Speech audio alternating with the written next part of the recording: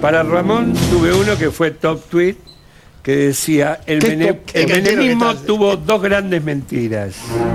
La convertibilidad y Ramón Díaz. es muy raro encontrar a un hincha de River que esté en contra de Ah, pero yo soy. Pero salió campeón de todo. ¿Pero por qué? Bueno, pero- ¿Por qué no lo querés? Porque no me gusta él como técnico, no me gusta esta cosa táctica entre el bien y el mal.